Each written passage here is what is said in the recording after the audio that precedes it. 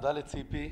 אני חייב להגיד, אה, הגשם הזה, ותקעתי לעצמי, זה, התחלתי דיאטה אבל הפסקתי אותה, תקעתי לעצמי כמה קרואסונים, והקול הזה שלך, ציפי, שזה קול שעליי הוא אהוב מאוד, אבל זה קול של שישי אחרי צהריים. אז עכשיו אני אמרתי, וואי, אולי כבר גמרנו את היומיים האלה ואנחנו כבר שישי אחרי צהריים, איזה כיף. אז תודה ציפי, ודירה להזכיר, כן, קטונו לגמרי.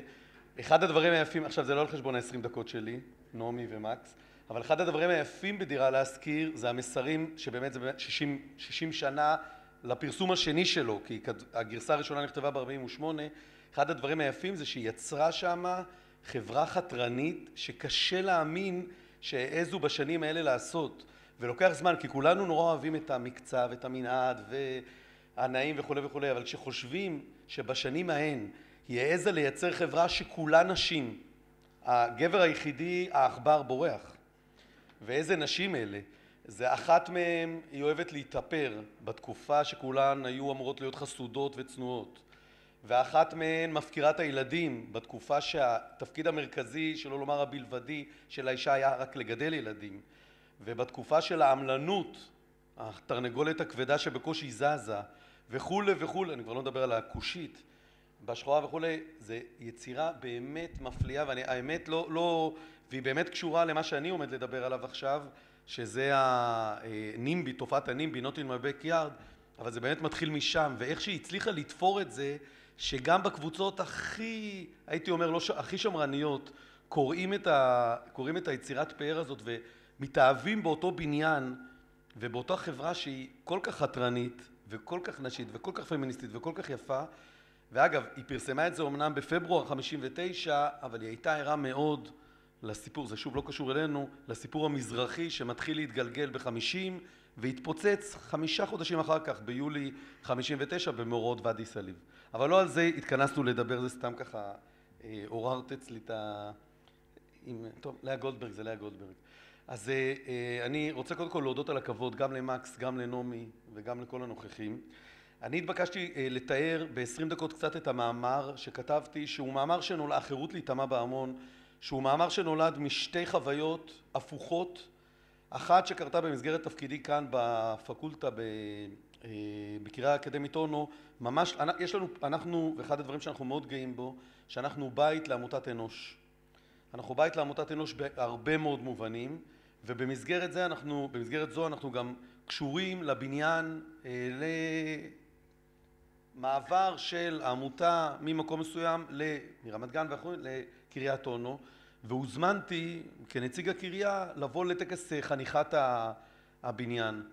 ובאתי זה ממש לא רחוק אם תצאו מהקריה שמאלה בכיכר ואתם הולכים בלב העיר על גן על שורה של גנים בניין מרהיב עם חלונות ככה שפרוסים בחול.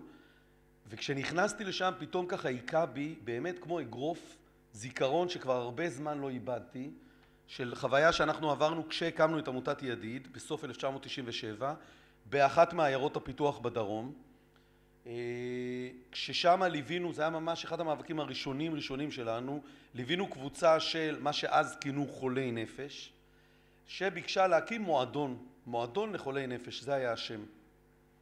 אגב אנחנו גם אנחנו לא אהבנו את השם ההוא אבל בעקבות הדבר היחידי שמצאתי בעולם המשפט הבנתי שזה השם הנכון. הדבר ההוא שמצאתי בעולם המשפט קשור אליך יחיאל.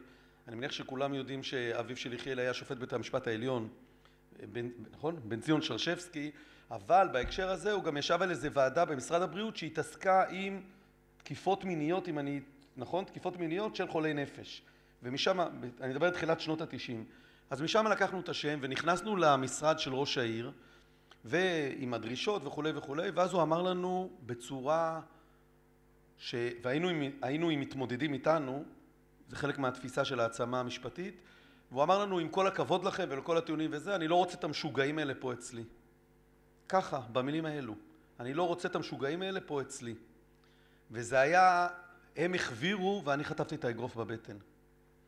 ואחר כך התחלנו לעשות עבודה לובית ואיומים ומשפטים וכולי שאני ככה אתאר את זה קצת פה ובסוף הם נשברו ונתנו לנו מקום שזאת הייתה הסיטואציה השנייה הקשה כי המקום שניתן היה במי שמכיר את ה... טוב אני לא אגיד את השם של העיירה במה שהיום נקרא מתחם ביג בחלק מהעיירות, שזה אומר מחוץ לעסק. ונסענו לראות את הבניין יחד עם מתמודדים, וזה היה בפאתי העיר, במקום שאפילו החתולים לא מגיעים אליו כי אין שם אפילו טיפת אוכל. ומה ש... ונכנסנו וזה היה יותר עצוב מעצוב, ואחד המתמודדים אמר ידעתי, ידעתי שהם לא ירצו אותנו, ידעתי שהם יגרשו אותנו לשם.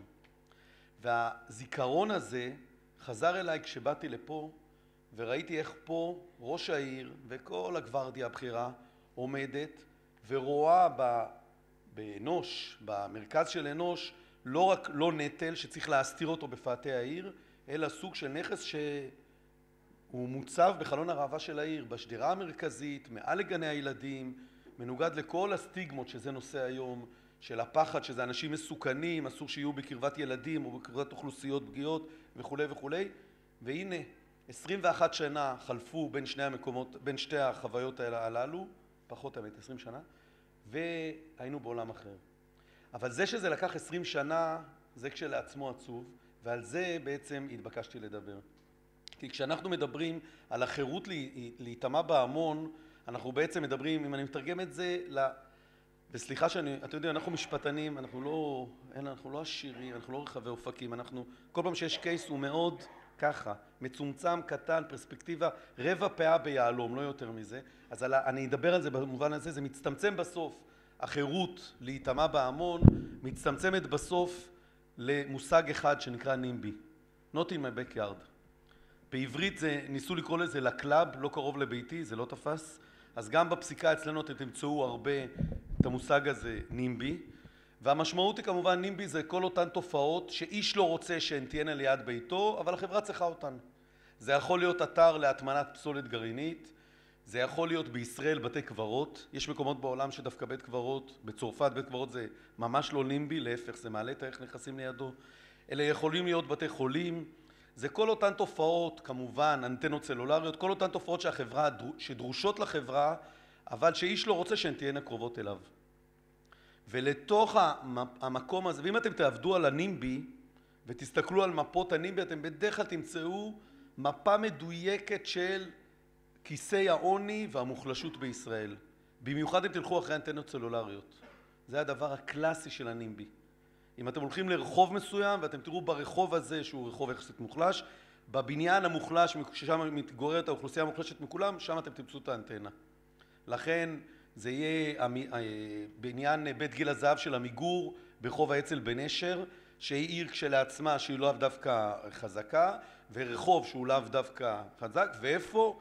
בגג של בית האבות ששם שלחו את אותם עולים, במקרה הוא מצ'רנוביל, שהם המוחלשים שבמוחלשים שלא יכולים להתנגד. אז זה, כשאנחנו מסתכלים על המפה של האנטנות הסלולריות אתם כמעט תמיד תוכלו לראות אחד לאחד את העניין של איפה העוני, איפה המצוקה ואיפה המוחלשות. ולתוך המשפך הזה נכנסת תופעת הנימבי שנקראת גם בתי חולים למה שקראו פעם בתי חולים לחולי נפש או מרכזים למתמודדים עם, עם אה, מחלות נפש היום או תופעות כאלה שאיש לא רוצה אותן לידו. ולמה איש לא רוצה אותן לידו כמו שיחיאל אמר? בגלל הסטיגמה.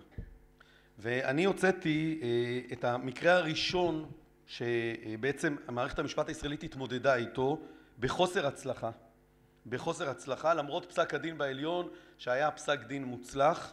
עצם זה שצריכים להגיע עד לעליון כדי לקבל את פסק הדין הזה אתם מבינים כבר שהמערכת נכשלה. כי כדי להגיע לעליון זה אומר שצריכים הרבה נשימה, זה אומר שצריכים הרבה משאבים, זה אומר שצריך הרבה ייצוג, וזה אומר שצריכים הרבה דברים שחסרים בדרך כלל באוכלוסיות מוחלשות. אז אני מדבר, אני לא אפרט את זה יותר מדי, אני מדבר על פרשה שהייתה בתחילת שנות ה-70 בחיפה, פרשה שנקראת אה, בית חולים בלומנטל, ברחוב פינסקר למישהו חיפאי שם, על, אני חושב שזה באחוזה, אבל אני לא חותם על זה, בהר הכרמל, זה לא אחוזה? אולי זה, לא יודע. כשבאותה שנה, זה פסק הדין שהוצאתי, באותה שנה, ב-74, מקימים שם אה, מרכז, בסדר? מק... בית, נקרא לזה מרכז החלמה לחולי נפש, בכל זאת נעשה ככה קישור לשפה של היום. ארבע שנים המקום הזה עובד, לא מפריע לאיש, אבל אחרי ארבע שנים כשמגישים בקשה לרישיון קבע ומפרטים מי הן האוכלוסיות שתיכנסנה אליו, אז פתאום דיירי הסביבה מבינים מי הם השכנים והנה הגענו ללאה גולדברג והשכנים כבר לא נעים. לא נעים בעיניהם והם מגישים בקשה שהתנגדויות להקמת מה שהם מכנים המטרד. ואני אגיד במילים מה הם אומרים, הם אומרים מדובר פה באי נוחות, הפסד ההנאה מרכושם וכל זאת בשל קרבתם למוסד. למה קרבתם למוסד?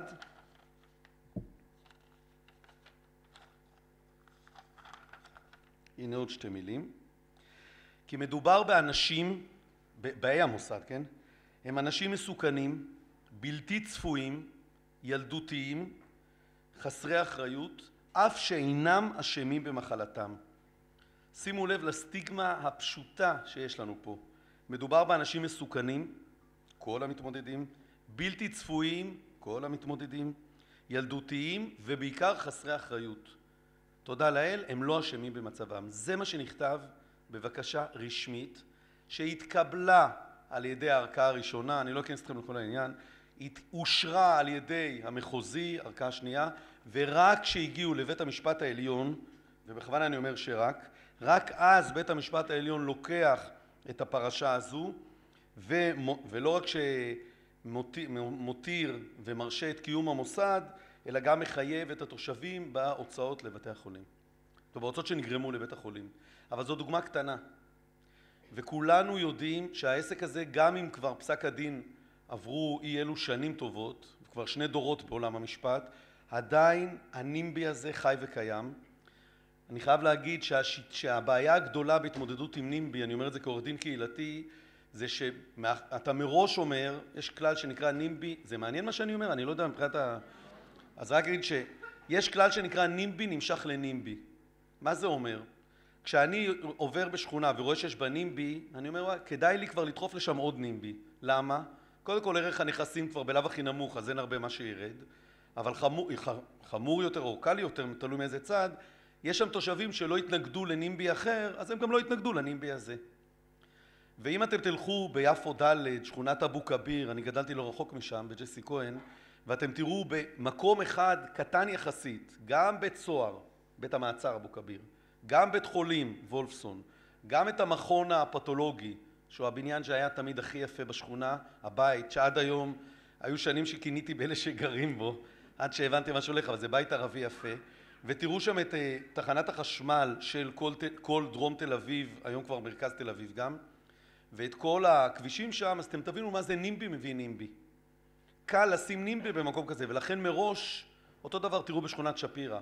לא סתם בשכונת שפירא בנו את התחנה המרכזית החדשה, ואחר כך העובדים הזרים מגיעים לשם, סליחה על היעדר תקינות פוליטית, אבל אנחנו מתייחסים לעובדים זרים ולעוד כל מיני אוכלוסיות כאלה כנימבי אנושי, גם אם זה לא נעים, אז קל לשים שם נימבים כאלה, ואז באים העובדים הזרים, ואז גם מגיעים סוחרי הנשים והסחר בנשים ומרכזי סחר בנשים ומרכזי זנות וכולי וכולי וכולי, ואתם יכולים להבין לבד. וגם אם, במדינה מתוקנת אמור היה להיות שהנימבי יפוזר בין כל השכונות. שלא יהיה לי רק מקום אחד ששם תהיה גם אוניברסיטה וגם מרכז טכנולוגיה וגם מט"ח וגם מוזיאון וגם זה וגם זה וגם בית תפוצות וכולי ובשכונה אחרת יהיה את כל הנימבים אלא שזה יהיה איזשהו איזון אבל כשרואה אדם שיש שכונה אחת ששם יש אוכלוסייה חזקה שסביר שתתנגד ומקום אחר יש אוכלוסייה מוחלשת שסביר שהיא כבר לא תתנגד אז מראש בלי בכלל שאנחנו עוד לפני בשלב המקדמי אנחנו נגיע לשים את אותו נימבי במקום הספציפי הזה וזאת אחת הבעיות. זאת אחת הבעיות שאנחנו היום עדיין נתקלים בהן. כי הנימבי, ההתנגדות לנימבי מביאה לזה שמראש יש לנו אפקט מצנן ששולח אותנו למקומות שלא בהכרח נדרשים. אז זה ככה על רגל, עדיין אנחנו, הפתרון לזה הוא אגב פתרון מאוד פשוט. מדיניות, מדיניות תכנון מכוונת מלמעלה שמבינה שכולנו מתמודדים עם כל מיני דברים ושהמקומות האלה הם לא מקומות, אנשים שם לא מסוכנים ולא חסרי אחריות ולא ילדותיים יותר מאף אחד אחר ולכן אין שום בעיה שהם יבואו בקהל כמו כולם ויטמעו בהמון וצריכים לפזר אותם בכל ההמונים בדיוק גם כדי שאנשים יבינו את זה מהצד השני וגם כדי שזה יהיה הוגן כלפי הצדדים השלישיים שבמקרה אלה יכול להיות אותה אוכלוסיית מצוקה שלא שבהכרח ליבם יותר גס באחרים כמו שזה מוצג, סליחה שאני אומר, שהם יותר גזעניים או יותר זה, אלא כי זה אנשים שכבר ספגו כל כך הרבה ירידה בנכסים, ואם נעצום עיניים יספגו פה עוד נכס. אז הפתרון הוא כמובן פתרון של מדיניות תכנון כללית, באה מלמעלה, מוכתבת ומאפשרת פיזור, ואז אנחנו נראה גם את הבתי חולים האלה, גם את מרכזי החלמה, גם מרכזי התמודדות, גם דברים כאלה מפוזרים בכל מקום, כמו שאמור להיות חלק מנוף חיינו. כמו שכל, שהרבה חוויות, כמו שהאמת, התמודדות עם מצוקות ודברים מה, מהסוג הזה שלנו, באמת הם לא, למרבה הצער, הם לא נעצרות, ההתמודדויות האלה באף כניסה לאף שכונה בשום מקום, כולנו יודעים את זה. מאיפה זה בא אבל? אני רוצה בכל זאת להגיד כמה מילים על מאיפה זה בא. מאיפה בא בכלל החירות הזאת, הרצון להיטמע? הרי איך התמודדו עם התופעות האלו בעבר? התמודדו איתם כמו שהתמודדו בארץ עד שנות ה-60, פחות או יותר, שנות ה-60-70, בזה שהרחיקו את כל מי שהיה אחר, שונה, אל מחוץ לערים, אל המקומות השכוחים. אז נכון, לא זרקו אותם מצוג גבוה, אבל כן זרקו אותם אל מקום שהחברה לא רואה ולא רואים אותם. וזה היה נתפס כמשהו שלא נלחמים איתו. מאי המצורעים לאלה שחולי צרעת ועד לאנשים שנתפסו כמשוגעים, מכשפות ומטורפים וכולי ובכנס קודם שלנו דיברנו על הספרים, על ספרי המשפט של המכשפות, פטיש המכשפות המפורסם, שבו ראו איך, איך המשפט התמודד עם אותם אנשים. העסק הזה, התפיסה הזאת, חוטפת, הייתי אומר, את הסתירה הגדולה במאה ה-18. כאשר תנועת הנאורות מתחילה להפוך להיות תנועת המונים יחסית, ולהפיץ את הרעיונות שלה. ולהפיץ את הרעיונות שלה שאומרים בעצם, והרעיון המרכזי הוא רעיון החירות. ומה זה רעיון החירות? הרעיון הבאמת מטלטל, שעד היום אנחנו לא יודעים להתמודד איתו, שכל אחד מאיתנו יכול לכתוב את ספר חייו כרצונו. אני קובע באיזה דיו אני אשתמש, אני קובע באילו מילים אני אשתמש, אני קובע מה יהיה הפרולוג ומה יהיה האפילוג, אני קובע גם איך תראה הכריכה. הרעיון הזה שבדויד קופרפילד, עכשיו זה הכל בגללך ציפי, דחפתי את הספרות עכשיו והלכה הרצאה אבל שדויד קופרפילד מתחיל במילים היפות, המילים, אני כבר לא זוכר עכשיו, השורות הבאות תגלנה אם אני אהיה גיבור קורות חיי. במילים אחרות, האם אני אדון לגורלי או אני הבן של הנסיבות. הרעיון הזה, הרעיון המהפכני הזה, הוא רעיון שהחליף את מה שהיה בעבר, שזה כמובן רעיון הגורל. רעיון הגורל שאמר אנחנו בני האדם בעולם הזה להבדיל מהעולם הבא, ואנחנו מדברים כמובן בעיקר על הקתולים והפרוטסטנטים, לא אדונים לשום דבר, הכל קבוע מראש, ותפקידנו המרכזי הוא להוריד ראש, להגיש את הלחי השנייה לפעמים, לא, לחבק את הסבל, לאהוב את הכאב, כמו שהיו אוהבים לומר הכמרים בתקופה ההיא, ועם הגורל הזה להמשיך עד סוף חיינו. וברגע שבא הרעיון המהפכני הזה, שעם כל הכבוד לגורל, אני קובע לבד, וגם פה אני כתבתי את זה במאמר, אני חושב, אני כבר לא זוכר, הרעיון, המקום המרכזי שהופץ הרעיון הזה, הכלי המרכזי היה מערכת המשפט והספרות, אתה רואה הכל קשור, וכמובן הספר המרכזי היה רובזון קרוזו של דניאל דיפו ב-1719, שתחשבו איזה רעיון יפה שמה דניאל דיפו עושה, גבר, מעמד ביניים, אגב הגיבור הספרותי הראשון שהוא ממעמד הביניים, ושהוא לא בעל כוחות מיוחדים, מכשף או משהו מהסוג הזה קוסם הוא הראשון שיעדו אותו להיות עורך דין, רחמנא ליצלן, שתמיד היה אגב תפקיד, רק, ביש... רק אצל היהודים היינו אליטה, אני חייב להגיד. עריכת דין בשנים ההם הייתה תפקיד שהגביל לנפח, לא יותר מזה. אבל אה, טוב, לא נגלה את זה פה לאלפי סטודנטים שנכנסים אלינו לפה למקצוע. בכל מקרה, הוא יועד להיות עורך דין, ואביו, והוא לא רוצה, רוצה, נפשו חשקה להיות מלאך. אביו מתנגד, אמו מתייפחת, זה כמובן התפקיד הקלאסי בתקופה ההיא, האמא היא רק בוכה ואבא הוא הרציונל, והוא ככה מגיע כך וכך לזה, ובסופו של יום הוא יוצא להיות מלאך, ומה קורה לו? סערה, הספינה נטרפת והוא מושלך על אי. הנה לכאורה קיבלנו את ההוכחה של מה קורה למי שמעז להרים ראש נגד הגורל. ראש ויד. אבל עכשיו באה המהפכה. כי דניאל דפו מראה איך שמה באי הזה, שהוא כמובן אלגוריה לאנגליה, איך באי הזה בכוחות עצמו אותו רובינזון קרוזו מצליח לבנות לעצמו חיים יפים יותר, טובים יותר, תבוניים יותר ומוסריים יותר. היינו ערך אה, ששת והיחס לששת מאשר מה שקורה במקומות אחרים בעולם. הנה הוכחה שאני לבד כותב את, את חיי. אני אחראי על ספר החיים שלי. וכשזה, והרעיון הזה הוא רעיון שלוקח לו הרבה זמן חברים להיכנס למחזור הדם של התפיסה האנושית. אז אנחנו רואים את זה גם בקרב מתמודדים שלוקח להם הרבה זמן להבין, אני לא אכנס פה לאפשרות שכן הם יכולים למשוך את עצמם בשערות ראשם, אבל כשזה קורה אז מתחילה תנועת ההתנגדות, העל מיסוד, שזה בשפה שלכם, התנועה שאומרת אנחנו לא מוכנים יותר להיות במקומות סגורים, רחוקים, הרחק מחוץ לחברה, עד שאנחנו נבריא ונוכל לחזור, אלא אנחנו יש, רוצים להיות כמו כולם ולהיטמע בהמון. להמון, חברים, יש הרבה דברים גרועים. בהמון אנחנו מאבדים את האנושיות שלנו, יש הרבה סכנות בתופעה הזאת שנקראת המון. אנחנו גם יכולים להרגיש גלמודים. יש תופעה שנקראת המון גלמוד. אבל בהמון יש דבר נוח אחד, אתה מרגיש בבית, אתה מכוסה. וכשהחירות הזאת, אני מסיים, וכשהחירות הזאת, זה היה, אה, לא, לא, חשבתי שהשתלת זה. אוקיי, כבר נבהלתי, לא יודע איזה.